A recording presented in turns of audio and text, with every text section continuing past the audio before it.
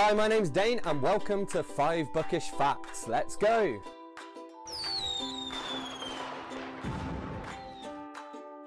So today we're taking a look at this little beauty which is Northern Lights by Philip Pullman. It's also known as the Golden Compass in certain regions like America. And uh, one of the reasons I wanted to take a look at this one today, this is a new channel, it's one of my favourite books of all time so it seemed like a good one to start with. And also the first instalment of the Book of Dust series is coming out soon which is kind of Pullman's successor to the, this trilogy and that's coming out in October. So buy it. But listen to these facts first because they're cool. Okay, so this was published in 1995. I was six years old at the time, and in that year it won the Carnegie Medal, which is uh, on the cover here.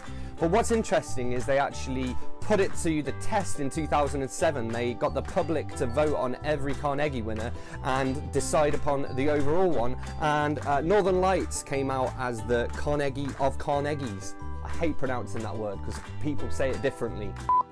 So the um, chapters quite often have little illustrations at the start. You can see here, there is a bear. I assume that is good old Iorek. And what happened was uh, basically the publishers suggested it might be a nice idea to have these little illustrations at the start of each chapter.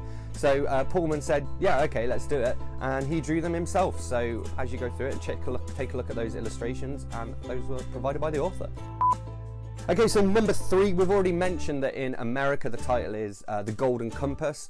Now that actually comes from, um, it was a mistake that was made. So the original title of the trilogy, as you know, the published title is His Dark Materials. But before it came out, the trilogy uh, was called The Golden Compasses.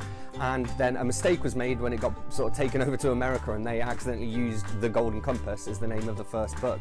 But what's interesting is that that's actually a reference to John Milton's Paradise Lost, and there are people who tell you that the trilogy is actually a retelling of Paradise Lost as well.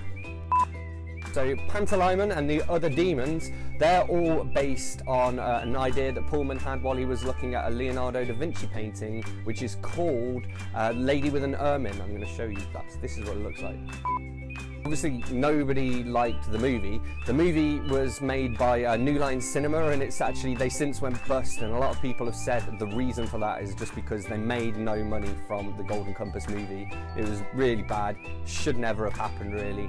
And I think we can all agree. Let's let's not talk about that. So yeah, thanks a lot for watching 5 Bookish Facts. Don't forget to subscribe. I'm going to do new videos every Wednesday and you can also leave a comment down below with a request if you've got a particular book you want me to look at. In the future I'm also going to be doing facts about particular authors, genres, all that kind of stuff.